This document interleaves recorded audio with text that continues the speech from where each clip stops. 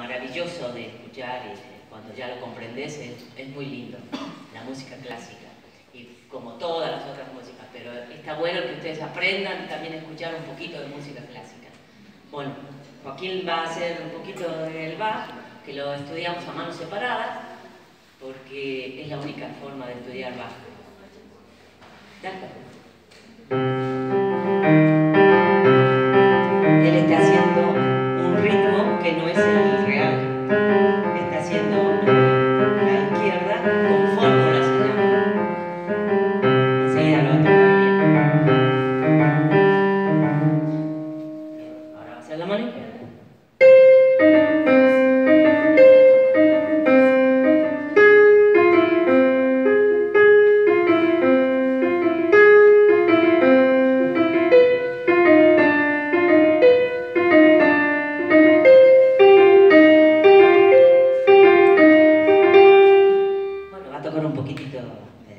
Es bastante más rápido este preludio, pero lo va a hacer un poquito lento para que ustedes vean cómo junta las manos y